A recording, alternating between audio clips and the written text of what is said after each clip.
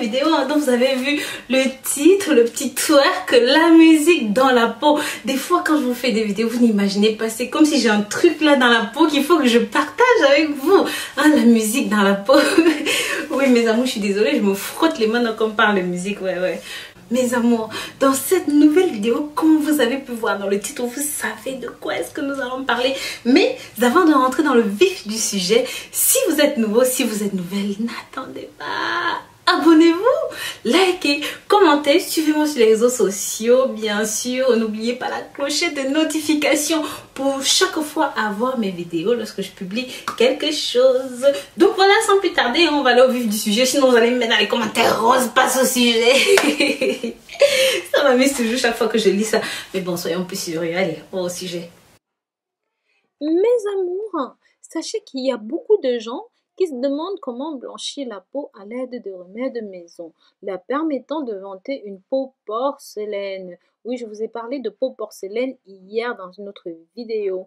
La réponse réside simplement dans les ingrédients naturels, sur ces produits que nous gardons dans la cuisine, oui, que nous utilisons pour faire nos plats préférés. Cela peuvent également être utilisés pour créer des conseils de beauté, mes chéris, pour nous aider à découvrir comment blanchir notre peau. Ceci est simple. Je vous montre quelques étapes simples dans cette nouvelle vidéo. Hein. Donc, sachez que oui, certaines sont plus extrêmes, plus radicales que d'autres.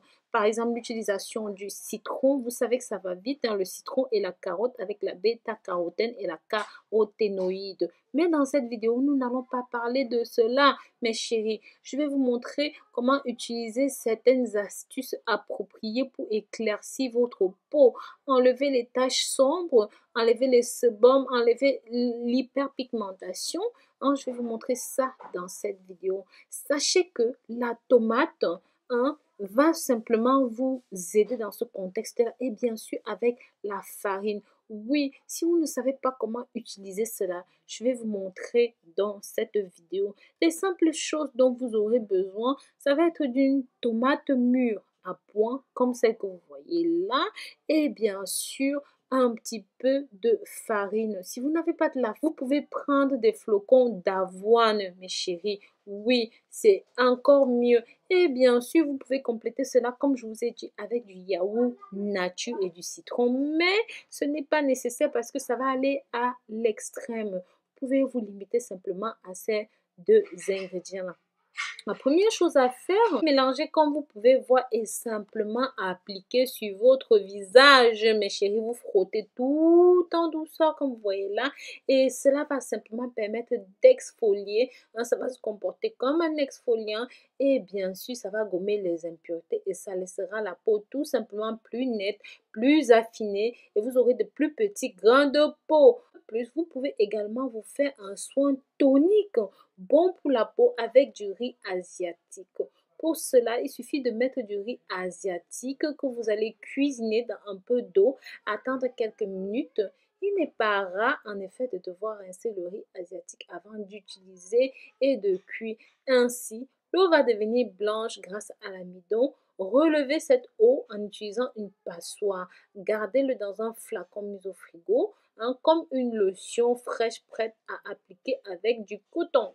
Donc voilà, il faut bien nettoyer vos tomates pour enlever toutes les bactéries qui peuvent bien sûr se déposer, pour enlever toutes les bactéries, les pesticides et toutes sortes de traitements qui sont déposés sur la peau de votre tomate parce que c'est pas la peine de vous infecter à nouveau avec cela. Hein. Oh mes amours, combien de fois vous ai-je parlé de la farine de riz?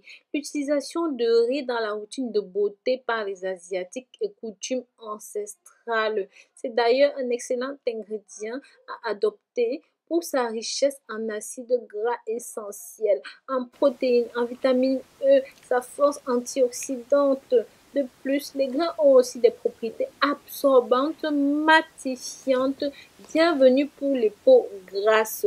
Il est également très délicat avec les peaux sensibles et fait du bien à vos cellules tout en hydratant votre épiderme, les filles.